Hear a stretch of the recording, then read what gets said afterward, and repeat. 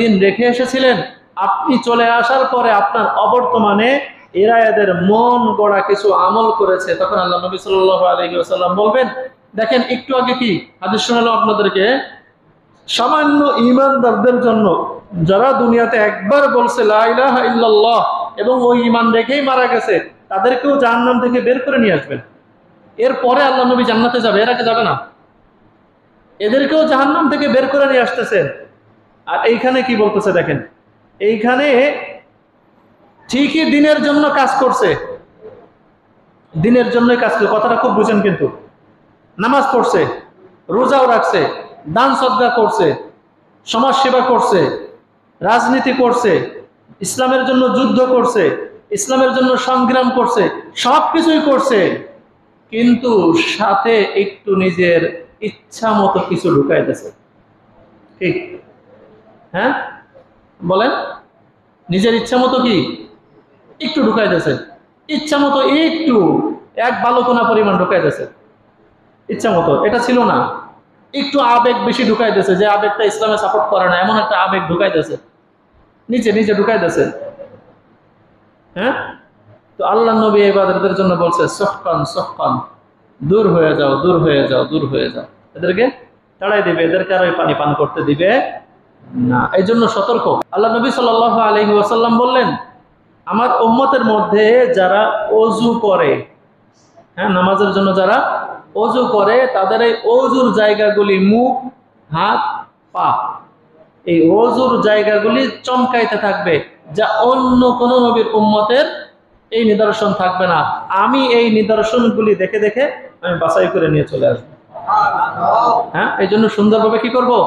অজু করব। আর একটা হাতে শোনা দিই অজুর কথা যেহেতু আসছে, হাদিসের মধ্যে আসছে, যে ব্যক্তি অজু করবে সুন্দরভাবে হ্যাঁ সুন্দরভাবে, ধীর স্থিরতার সাথে প্রত্যেকটা অঙ্গ সুন্দরভাবে ধুবে হ্যাঁ সুন্দরভাবে সুন্নাত তরিকায়, সুন্দর বলতে সুন্নাত তরিকায়।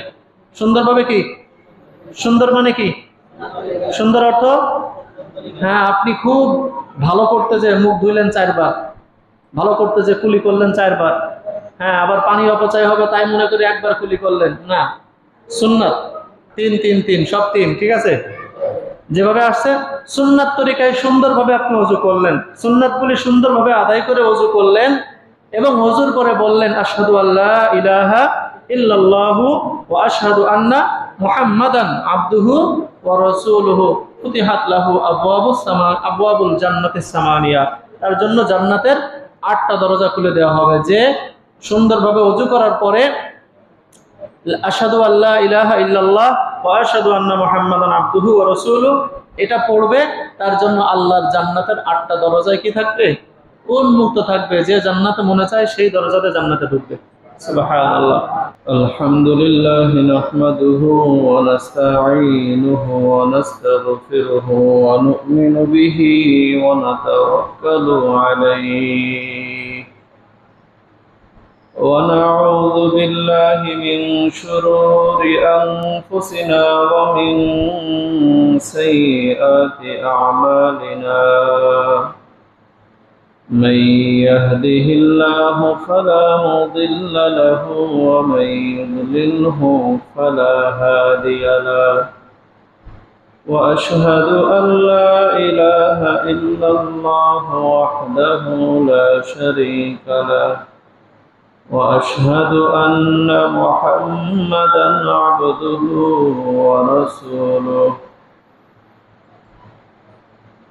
صلى الله عليه وعلى آله وأصحابه وبارك وسلم تسليما كثيرا كثيرا. أما بعد فقد قال الله سبحانه وتعالى في كلامه المجيد وفي فرقانه الحميد. أعوذ بالله من الشيطان الرجيم. بسم الله الرحمن الرحيم.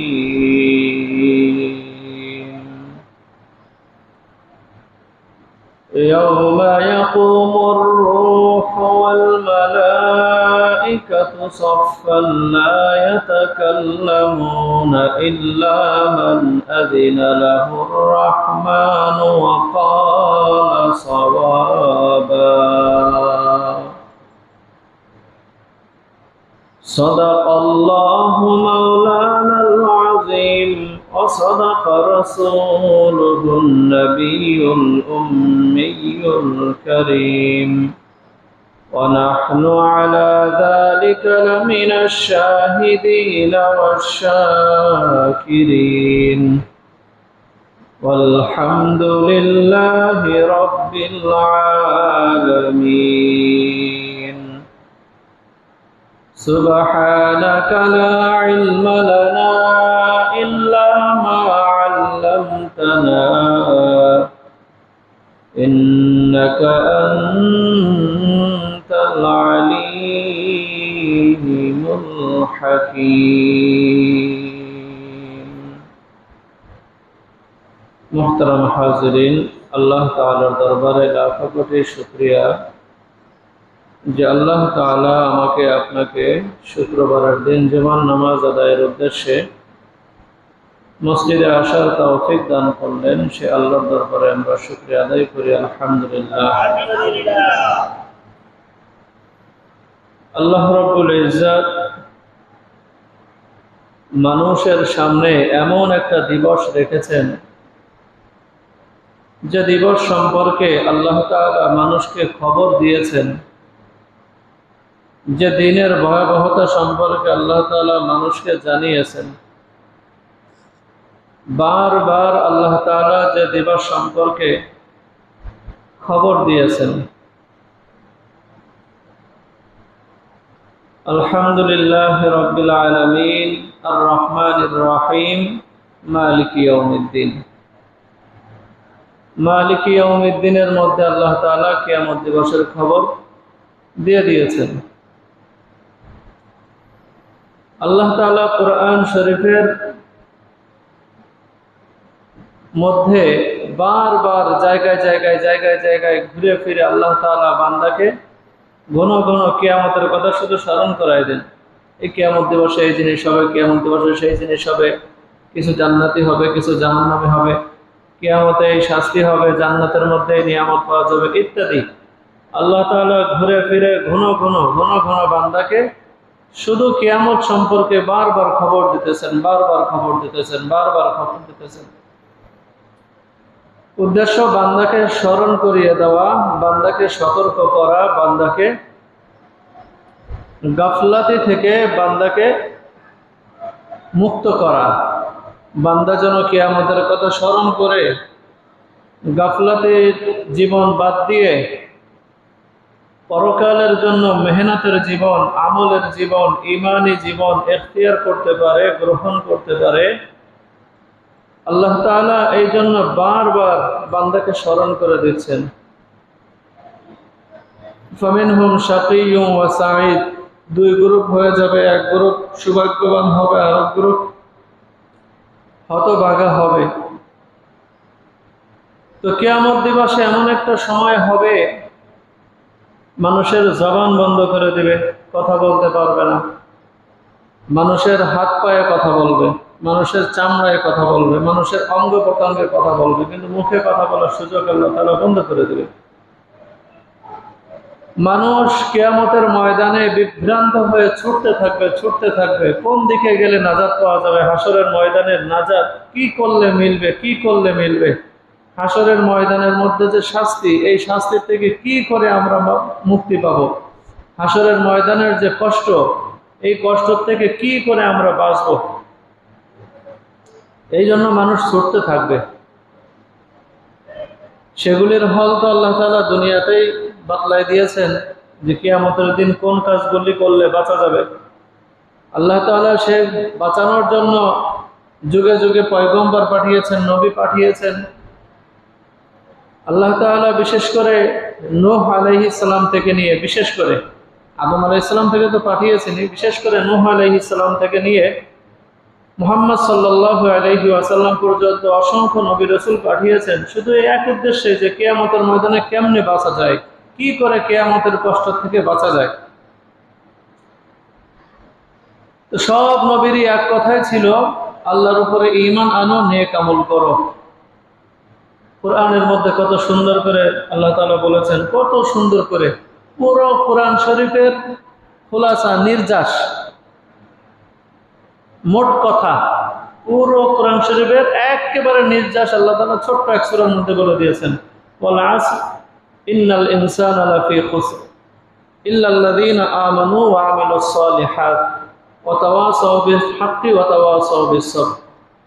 যে সব মানুষ ক্ষতিগ্রস্ত। তবে, ইল্লাল্লাযীনা আমানু, যারা ঈমান এনেছে ওয়া আমিলুস সালিহাত, নেক কাজ করেছে।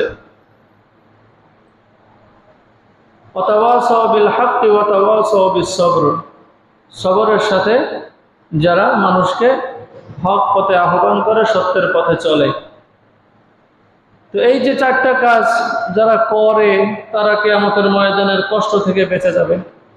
তারপরেও মানুষকে সতর্ক করা, সব বলে দেওয়ার পরেও কিছু মানুষ বিপদের সম্মুখীন হয়ে যায় না। কিছু মানুষ বিপদের সম্মুখীন হয়েই যায়। এই সব কিছু করার পর কাল কিয়ামতের ময়দানে কিছু মানুষ তারপরেও ধরা খেয়ে যাবে। ধরা খেয়ে ছোটাছুটি করতে থাকবে। আর তারা কিয়ামতের ময়দানে শুধু এই কথাই বলতে থাকবে, কোন জায়গায় গেলে নাজাদ পাবো, কোন জায়গায় গেলে নাজাদ পাবো, কোন জায়গায় গেলে মুক্তি পাবো, কোন জায়গায় গেলে এই কিয়ামতের ময়দানের শাস্তি থেকে বাঁচতে পারব, কষ্ট থেকে বাঁচতে পারব, এই ছোটাছুটি করবে, করে করে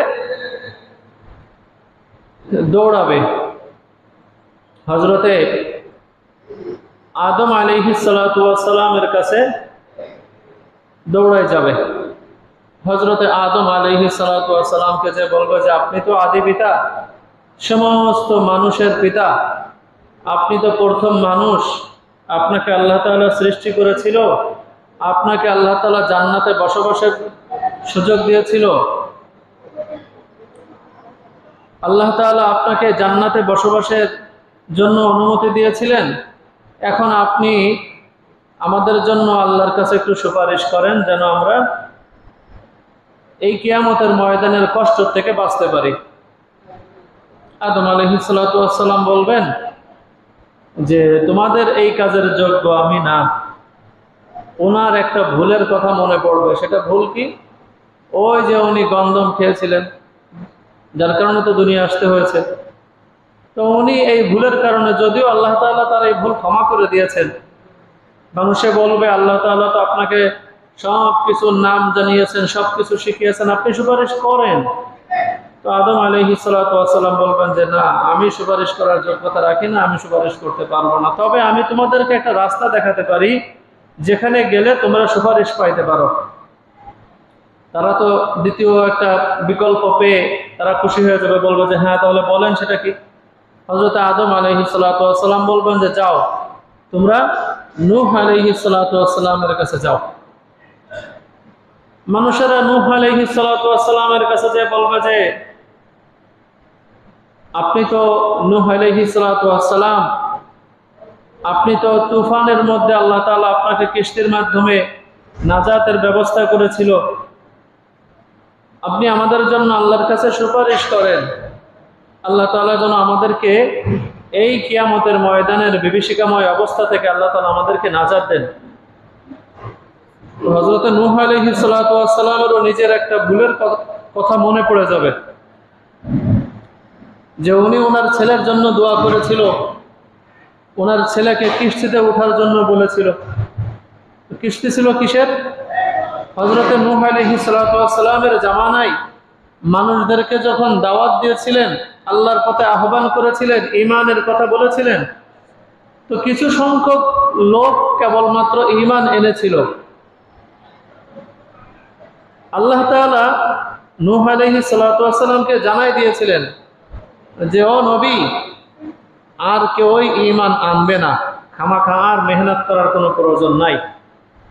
এরা যারা ইমান আনছে, তারাই আনছে। আর যারা আনে নাই, এরা আর ইমান আনবে না। এদের পিছনে আর মেহনত করার কোনো প্রয়োজন নাই। আপনি এক কাজ করেন একটা কিস্তি তৈরি করে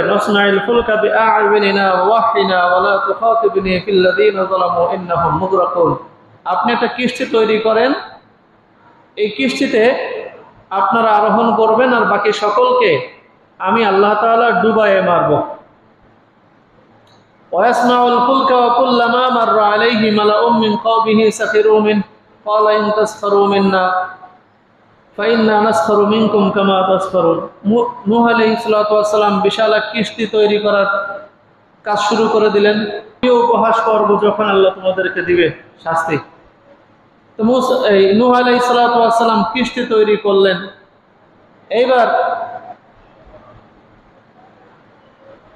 ويصنع الفلك وكلما مر عليه ملأ من قومه سخروا منه. قال إن تسخروا منا فإنا نسخر منكم كما تسخرون. فسوف تعلمون من يأتيه عذاب يخزيه ويحل عليه عذاب مقيم. حتى إذا جاء أمرنا وفارت النور. قل نحمل فيها من كل زوجين اثنين وأهلك إلا من سبق عليه القول ومن آمن. وما آمن معه إلا قليل এবার নূহ আলাইহি সালাতু সালাম যখন কিস্তি বানানো হয়ে গেল আল্লাহর পক্ষ থেকে আদেশ আসলো যে সমস্ত ইমানদারদেরকে উঠান এবং প্রত্যেক প্রাণীর জোড়ায় জোড়ায় উঠান এবং আপনার পরিবারস্থ যারা আছে তাদেরকে উঠান এই কথা যখন বললেন নূহ সালাম প্রত্যেক প্রাণীকে জোড়ায় জোড়ায় উঠাইলেন ইমানদারদেরকে উঠাইলেন এবং ওনার পরিবারস্থ যারা আছে তাদেরকে উঠাইলেন এবং ওনার সন্তানকেও ডাকলেন। যে সন্তান ছিল কাফের, যে সন্তান কি ছিল না? মুমিন ছিল না। এই সন্তানকেও ডাকলেন। তো এই যে সন্তানকে ডাকলেন, আল্লাহ তাআলা নূহ সালাতু সালামকে নূহ ওয়াস বলছিলেন, ওনার ওই সন্তান ওনার পরিবারস্থ। কিন্তু আল্লাহ তাআলার ফয়সালা ছিল অন্যরকম। যারা ইমানদার তারা আপনার পরিবারস্থ। যারা ইমানদার না, তারা আপনার পরিবারস্থ না। এই যে নূহ আলাইহিস সালাতু একটা ভুল করে ফেলছেন, এই ভুলের কথা ওনার মনে পড়ে যাবে। তো উনি বলবেন কি, আল্লাহ, এই সমস্ত মানুষকে বলবে যে, আমি তো একটা ভুল করে ফেলছি। আমি আজকে সুপারিশ করার যোগ্যতা রাখি না, ওই সাহস আমার নাই। তোমাদেরকে আমি আর একটা রাস্তা দেখাই দিতে পারি। তো এখানে একটা কথা হলো, আমরা অনেক সময় দোয়া চাইতে আসি, হুজুর, আমার জন্য একটু দোয়া করেন বা অমুকের জন্য একটু দোয়া করেন। আচ্ছা বলেন। নবী হওয়ার পরে ভুলে ওনার ছেলেকে কিস্তিতে উঠতে বলছেন। যে ছেলে কি ছিল না? মুসলমান ছিল না, মুমিন ছিল না। এই ভুলের কারণে যদিও আল্লাহ ওনাকে ক্ষমা করে দিয়েছেন, উনি বলতেছেন কি যে ওই যে ভুল করছিলাম, এই জন্য আমি আজকে এই সাহস রাখি না যে আপনাদের জন্য আল্লাহর কাছে সুপারিশ করব। তো আমরা অনেক সময় দোয়া চাইতে আসি, হুজুরের দোয়া করারই কোনো অনুমতি নাই। শুধুমাত্র আপনার হৃদায়তের জন্যই দোয়া করা যাবে, আর কোনোভাবে, আর কোনো দোয়া করা যাবে না। আপনি চিন্তা করেন, আপনি করেন যে দলই করেন না কেন, এখন ক্ষমতায় আছে আওয়ামী লীগ। এখন আপনাকে নিয়ে গেলাম আওয়ামী লীগের কাছে। প্রধানমন্ত্রীর নিকট নিয়ে গেলাম আপনাকে যে বলতেছি প্রাইম মিনিস্টার সাহেব, আপনি এনাকে কিছু কি করেন? পুরস্কার দেন বা এনার এই সমস্যাগুলি দূর করে দেন। আপনি আবার লাগাই গেছেন কি? ধানের শীষ এক গুছা নিয়ে গেছেন হাতে করে। বা লাঙ্গল কি? লাঙ্গলের একটা স্টিকার আপনার পোশাকে আছে, এটা সহ আপনি গেছেন। প্রধানমন্ত্রী যে দেখবে যে আপনার হাতে বা শরীরে বা যে কোনো জায়গায় ধানের শেষ বা লাঙ্গলের কোনো সিলটিল আছে, তখন কি আপনাকে পুরস্কার দিবে? হ্যাঁ হ্যাঁ বলতে পুরস্কার দিবে না? বরং আপনাকে পুরস্কার দেওয়া তো দূরের কথা, বরং আমি যে আপনাকে নিয়ে গেলাম, আমাকেও কি রাগারাগিও করতে পারে? এটা স্বাভাবিক দুনিয়ার নিয়ম। পুরস্কার নিতে গেলে, সহযোগিতা নিতে গেলে তার সাপোর্ট করতে হয়, তার গুণগান করতে হয়, তার গুণকীর্তন করতে হয়।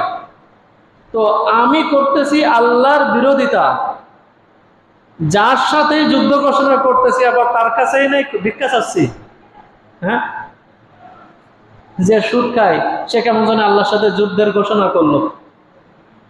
হ্যাঁ? যে সুদ খায়, সে কার সাথে যুদ্ধ ঘোষণা করল? আল্লাহর সাথে। একটা বললাম আর কি, এই জাতীয় অনেক গুণা আছে, যেগুলি আল্লাহ করতে নিষেধ করছেন, আমি সেইগুলি করতেছি, আবার আমি আল্লাহর কাছে কি চাচ্ছি? শান্তি ভিক্ষা চাচ্ছি। আমি আল্লাহর কাছে অর্থ ভিক্ষা চাচ্ছি, আমি আল্লাহর কাছে নিরাপত্তা ভিক্ষা চাচ্ছি, আমি আল্লাহর কাছে সুস্থতা ভিক্ষা চাচ্ছি, এটা কেমনে হয়? তারপরেও আল্লাহ অনেক দয়ালু দেখে আমাদেরকে দেয়। বাহ্যিকভাবে কি দেওয়ার? কথা না, উল্টো আরও পানিশমেন্ট হওয়ার দরকার ছিল। বিষয়টা এমন না। তো যাই হোক, আমরা আল্লাহর কাছে কিছু পাইতে গেলে, চাইতে গেলে সবসময়ের জন্য তওবার হালাতে থাকব, ভুল তো হতেই পারে। আল্লাহর কাছে তওবা করে নেব। তওবা করে নিয়ে আল্লাহর কাছে সাহায্য চাবো যে, আল্লাহ, আপনার নাফারমানি আর করব না। আপনার সাথে আর আপনার হুকুম ভাঙবো না। আর কোনোদিন আপনার সাথে দুশ্মনী করব না। এই তওবা করে নিয়ে দূরেশ্বরে পড়ে আল্লাহর কাছে দোয়া চাবো। আল্লাহর কাছে দোয়া করব। আল্লাহ তালা আমাদেরকে সাহায্য করবেন ইনশাল্লাহ তো যাই হোক হজরতে নূহ আলহি সালাম কি করলেন? বললেন যে আমি তোমাদেরকে একটা রাস্তা দেখাইতে পারি, বিকল্প ব্যবস্থা দেখাইতে পারি, আমি তো পারব না। সবাই খুশি হ্যাঁ হ্যাঁ দেখাই দেন। হজরতে নূহ আলহি সালাম বলবে, যাও। তোমরা হজরতে মুসা আলহি সালামের কাছে যাও। যিনি ছিলেন কালিমুল্লাহ, আল্লাহর সাথে সরাসরি কথা বলতেন দুনিয়ার মধ্যে তোর পাহাড়ে গিয়ে।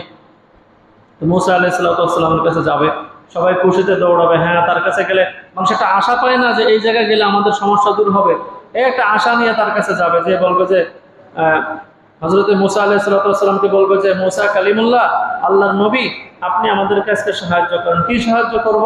বলে যে আমাদের জন্য আল্লাহর কাছে একটু সুপারিশ করেন যেন আমরা হাসরের ময়দানের এই বিভীষিকাময় অবস্থার থেকে মুক্তি পেয়ে জান্নাতে যেতে পারি। আমাদের জন্য সুপারিশ করেন। মুসা আলাই সাল্লাম বলবে যে হাই হাই এই কাজটা আমি পারব না। এটা আমার দ্বারা সম্ভব না, এই দুঃসাহস আমার নয় আমি একটা অন্যায় করছি, ভুল করছি। কি ভুল? বলে যে আমি ওনার এই কথা মনে পড়বে যে দুনিয়ার মধ্যে উনি ওই যে মিশরে একদিন ঘুরতে বের হয়েছিলেন, জনগণের অবস্থা দেখার জন্য, রাজপ্রাসাদ থেকে বের হয়েছিলেন। হয়ে দেখেছে এক কীর্তি আর একজন বনি ইসরায়েলের একজন। এই দুইজনে আপনার ঝগড়া বাঁধাইছে। দুইজনে কি? ঝগড়া লাগাইছে। একজন মিশরীয় আর একজন বনে ইসরায়েলের লোক। তো দুইজনে যখন ঝগড়া লাগাইছে, তো মুসা আলাই সালাতাম যার দোষ তাকে একটা থাপ পড়েছে একটা পড়ে সে জায়গায় মারা গেছে। নবী তো, নবীদের আঘাতের পাওয়ার আছে অনেক। যে রুকানা আরবের মধ্যে একজন পাহলোয়ান ছিল।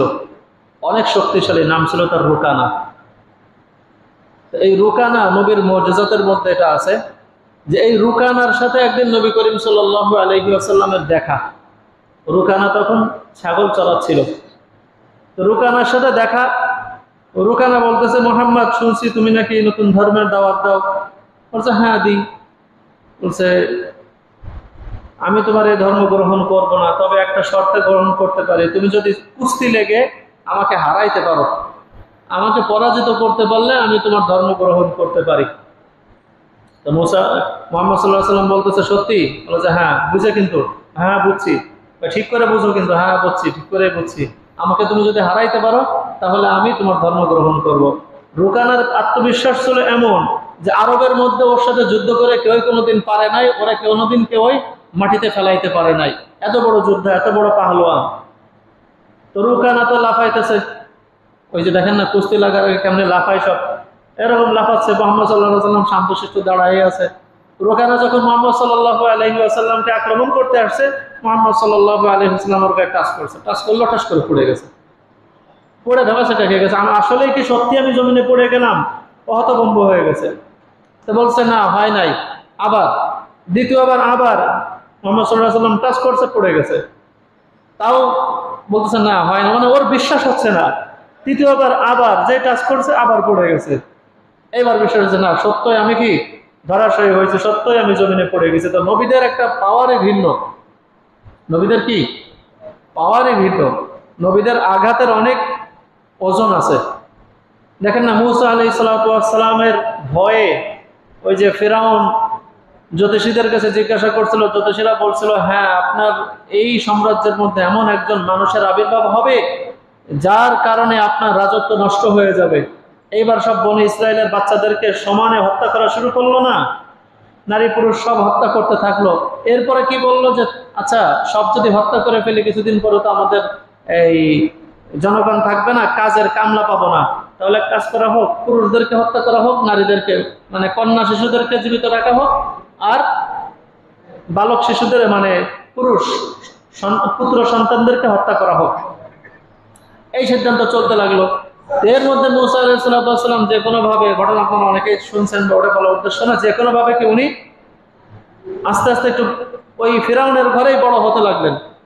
একদিন ফিরাউন যখন কোলে নিতে গেল, তো ফিরাউনের মুখে যখন একটা থাপ্পড় দিল, ফিরাউন সাথে সাথে বুঝে ফেলেছে, এটাই সেটা। এটাই কি?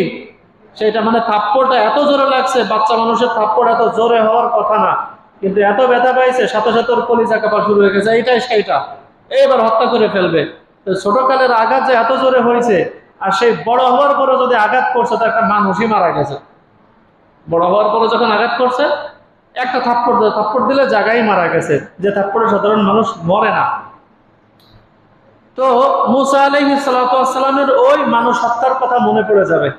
তখন তিনি বলবে যে, না, আমি একটা ভুল করছিলাম। আমি সুপারিশ করতে পারব না। আমি তোমাদেরকে এক রাস্তা দেখাইতে পারি। তো কি রাস্তা? বলে যে তোমরা হজরতে ঈসা আলহি সালাতামের কাছে যাও। তিনি একটা রাস্তা দেখাইতে পারেন। এইবার হাসরবাসী সব ঈসা আলাই সালাতামের কাছে দৌড়ায় যাবে।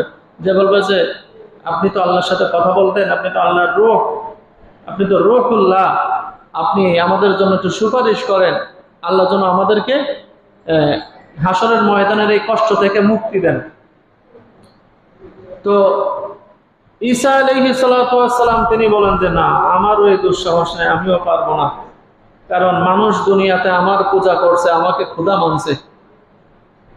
খ্রিস্টানরা কি করে? ওরা তিনজনকে মিলে এক ক্ষুদা বানায়।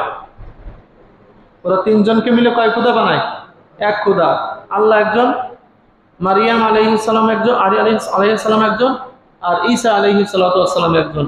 এই তিনজনকে মিলে ওরা বানায় এক ক্ষুদা কথাটা বুঝতে পারছেন? তা ঈসা আলহি সাল্লাম তিনিও বলবেন যে, না, আমারও এই সাহস নাই যে আমি আল্লাহর কাছে তোমাদের জন্য সুপারিশ করব। তোমরা এক কাজ করো, তোমাদেরকে আমরা রাস্তা দেখাই দিই। মোহাম্মদ আসাল্লামের কাছে যাও, তিনি তোমাদের জন্য একটা রাস্তা বের করতে পারবে। তো সমস্ত হাসরবাসী এইবার দৌড়ায় যাবে মোহাম্মদ সাল্লাহ আলহি কাছে। তখন মোহাম্মদ সাল্লাহ আলহি আসাল্লামের কাছে তারা আবদার করার পরে, আবেদন করার পরে মোহাম্মদ সাল্লাহ আলহি আসাল্লাম বলবে যে হ্যাঁ এই কাজটা আমিই পারব আমি তোমাদের জন্য সুপারিশ করব। এবার মোহাম্মদ সাল্লাহ আলহি আসাল্লাম এদিকে হাসরের অবস্থা কি থাকবে? সমস্ত মানুষ নফসি নফসি নফসি নফসি করতে মানে আল্লাহ আমাকে বাঁচান আমাকে বাঁচান, আমার কি অবস্থা হবে? হাই হাই কি অবস্থা? আমরা বিপদে পড়লি? প্রত্যেকে যার যার চিন্তা করে আসরের ময়দানে সবাই একই অবস্থা হবে। যার যার চিন্তা করতে থাকবে। ওইদিকে একটা মাত্র আওয়াজ থাকবে।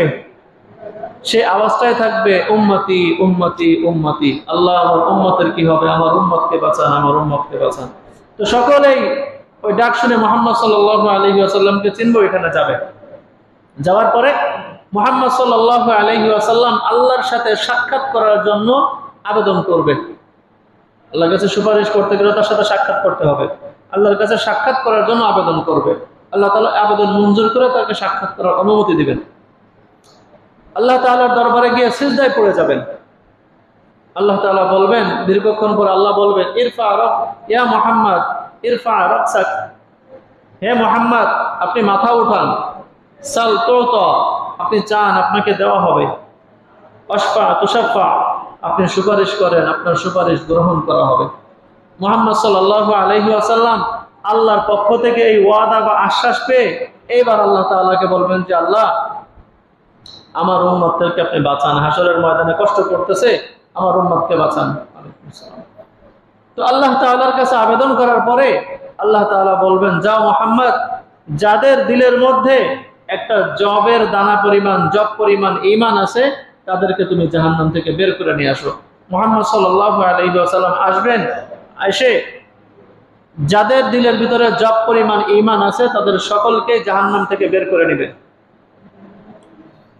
এরপর আবার আল্লাহর কাছে আসবেন, এসে আল্লাহর কাছে আবার দোয়া করবেন। আল্লাহ বলবেন, মোহাম্মদ, মাথা উঠান। আপনি চান দেওয়া হবে, সুপারিশ করেন, কবুল করা হবে। এবং যাদের দিলের মধ্যে মোহাম্মদ সাল্লাহ সাল্লাম সুপারিশ করবে, আল্লাহ বলবেন, যান। যাদের দিলের মধ্যে সরিষা দানা পরিমাণ ইমান আছে, তাদেরকে জাহান্নাম থেকে বের করে নিয়ে আসেন। মোহাম্মদ সাল্লাহ আলহি আসাল্লাম যাবেন, যাদের দিলের মধ্যে সরিষা পরিমাণ ইমান আছে, তাদেরকে বের করে নিয়ে আসবেন। এরপরে মোহাম্মদ সাল্লাহ আলহি আসাল্লাম আবারও আল্লাহর কাছে যাবেন। এখনও জাহান্নাম থেকে সবাই মুক্তি পায় নাই। আল্লাহর কাছে আবার যে বলবেন যে, আল্লাহ, সাক্ষাতের অনুমতি চাবেন, সাক্ষাতের সুযোগ দেওয়া হবে, যাবে, সিজদা করবে, আল্লাহর প্রশংসা করবে, আল্লাহ তাকে আবার উঠতে বলবেন। চান দেওয়া হবে, সুপারিশ করেন, কবুল করা হবে।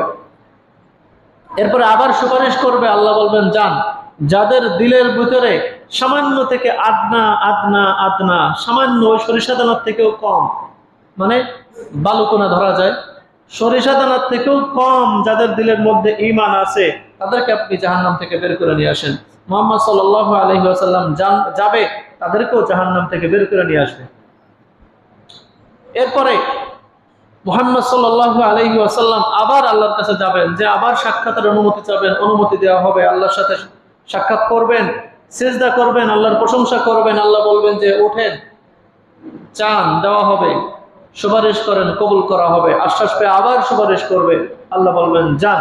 যাদের, যারা দুনিয়াতে লা ইলাহা ইল্লাল্লাহ বলেছে, আপনি তাদেরকে জাহান্নাম থেকে মুক্ত করে দেন। মোহাম্মদ সাল্লাল্লাহু আলাইহি ওয়াসাল্লাম যাবেন যে যারা লা ইল্লাল্লাহ শুধুমাত্র এতটুকু দুনিয়াতে বলেছে, এতটুকু বিশ্বাস রেখেছে, তাদেরকেও মোহাম্মদ সাল্লাল্লাহু আলাইহি ওয়াসাল্লাম জাহান্নাম থেকে বের করে নিয়ে আসবেন, সুবহানাল্লাহ। তো এভাবে মোহাম্মদ সাল্লাল্লাহু আলাইহি ওয়াসাল্লাম উম্মতকে জাহান্নাম থেকে মুক্ত করবেন। ওই দিন মোহাম্মদ সাল্লাল্লাহু আলাইহি ওয়াসাল্লামকে আল্লাহ তালা একটা জিনিস দিবেন। ইন্না কাউসার। ওই দিনে আল্লাহ তাআলা হাউজে কাউসার মোহাম্মদ সাল্লাল্লাহু আলাইহি ওয়াসাল্লামকে দান করবেন। ফেরেশতারা মোহাম্মদ সাল্লাল্লাহু আলাইহি ওয়াসাল্লামকে নিয়ে যাবেন। কাউসারের পাশে। হাউজে কাউসারেরটা কত বড় হবে? হাউজে কাউসারটা এটা অনেক দীর্ঘ, অনেক বড় হবে। এক মাসের, হাদিসের মধ্যে আসছে, এক মাসের রাস্তা। এক মাসের রাস্তা শুধুমাত্র এক মাসের রাস্তা বলা হয়েছে।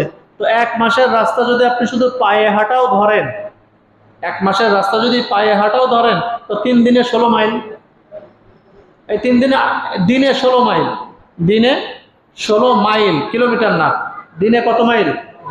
ষোলো মাইল, তিন দিনে আটচল্লিশ মাইল। এবার হিসাব করেন। তো মাসে প্রতিদিন ষোলো মাইল করে যত মাইল হয় এর প্রস্ত চতুর্দিকে এতটা লম্বা থাকবে, এতটা দৈর্ঘ্য থাকবে। এই হাউসে কাউসার। এর পাশে পানপাত্র দুই একটা থাকতে পারে যে, আমাদের মসজিদে যেমন বা বিভিন্ন জায়গায় দুই একটা গ্লাস থাকে, অনেক সময় পানি খাওয়া, সিরিয়াল পড়ে যায়, রমজান মাসে দেখেন না? তো মনে করতে পারে হয়তো এরকম সিরিয়াল পড়বে। না, আকাশে কত নক্ষত্র আছে কেউ বলতে পারব? কত তারা আছে কেউই বলতে পারব না। তো হাউজে কাউসারের পাশে এত পানপাত্র থাকবে। তো এত পান পাত্র থাকতে গেলে এত গিলাস, আর তখন তো মানুষ এই পিছিয়ে পিছিয়ে সাড়ে তিন ফুট এরকম হবে না। সর্বনিম্ন ষাট ফিট লম্বা হবে। কত? ষাট ফিট লম্বা হবে। এক একটা খেজুর, এখন আমাদের সাইজ অনুযায়ী একটা খেজুর এক দেড় ইঞ্চি দুই ইঞ্চি হ্যাঁ? আমাদের সাইজ অনুযায়ী আমাদের পানপাত্রগুলো পাঁচ ইঞ্চি, চার পাঁচ ইঞ্চি লম্বা। তো তখন একটা খেজুর লম্বা হবে পঁচিশ ফিট তাহলে সেই অনুযায়ী একটা খেজুর এখন দুই ফিট দুই ইঞ্চি। একটা পানপাত্র আমাদের একটা গিলাস সাধারণত চার ইঞ্চি হয়ে থাকে। তো সেই হিসাবও যদি করা হয়, তো একটা পানপাত্র তো পঞ্চাশ ফিট হতে হয়। বুঝে আসে না স্বাভাবিক একটা হিসাব। তো আল্লাহ তাআলা এত পানপাত্র রাখবেন যে সেদিন পান করার জন্য কাউকে সিরিয়াল দিতে হবে না। যে যাবে, সেই পান করতে পারবে। আর ওই পানি পান করার পরে আর কোনোদিন সে পিপাসার্থ হবে না, তার কোনোদিনও পিপাসা লাগবে না। ওইখানে যেই যাবে, সেই এই পানি পান করতে পারবে। তবে এক শ্রেণীকে, এক শ্রেণির মানুষ ওই হাউসে কাউসারের কাছে যাওয়ার পরে ফেরেস্তারা মাঝখানে পার্টিশন দিয়ে দেবে। যেতে পারবে না। আল্লাহ নবী জিজ্ঞাসা করবে, এদেরকে আসতে দেওয়া হচ্ছে না কেন? ফেরেস্তারা তখন বলবে, ইয়া রসুল আল্লাহ আপনি তো জানেন না, আপনি যেভাবে দিন রেখে এসেছিলেন, আপনি চলে আসার পরে আপনার অবর্তমানে এরা এদের মন গড়া কিছু আমল করেছে। তখন আল্লাহ নবী সাল্লাম বলবেন, দেখেন, একটু আগে কি হাদিস শোনালাম আপনাদেরকে? সামান্য ইমানদারদের জন্য যারা দুনিয়াতে একবার বলছে এবং ওই ইমান রেখেই মারা গেছে, তাদেরকেও জাহান্নাম থেকে বের করে নিয়ে আসবেন। এরপরে আল্লাহ নবী জান্নাতে যাবে, এর আগে যাবে না? এদেরকেও জাহান্নাম থেকে বের করে নিয়ে আসতেছেন। আর এইখানে কি বলতেছে দেখেন? এইখানে ঠিকই দিনের জন্য কাজ করছে। দিনের জন্যই কাজ করছে কথাটা খুব বুঝেন কিন্তু। নামাজ পড়ছে, রোজাও রাখছে, দান সদ্গা করছে, সমাজ সেবা করছে, রাজনীতি করছে, ইসলামের জন্য যুদ্ধ করছে, ইসলামের জন্য সংগ্রাম করছে সব কিছুই করছে। কিন্তু সাথে একটু নিজের ইচ্ছা মতো কিছু ঢুকাইতেছে। ঠিক হ্যাঁ? বলেন। নিজের ইচ্ছা মতো কি? একটু ঢুকাইতেছে। ইচ্ছা মতো একটু, এক বালকোনা পরিমাণ ঢুকাইতেছে। ইচ্ছা মতো, এটা ছিল না। একটু আবেগ বেশি ঢুকাইতেছে, যে আবেগটা ইসলামে সাপোর্ট করে না, এমন একটা আবেগ ঢুকাইতেছে। নিচে নিচে ঢুকাইতেছে। হ্যাঁ? তো আল্লাহ নবী এবাদতের জন্য বলছে সফকান সফকান দূর হয়ে যাও, দূর হয়ে যাও, দূর হয়ে যাও। এদেরকে তাড়াই দিবে, এদেরকে আর ওই পানি পান করতে দিবে। না এই জন্য সতর্ক।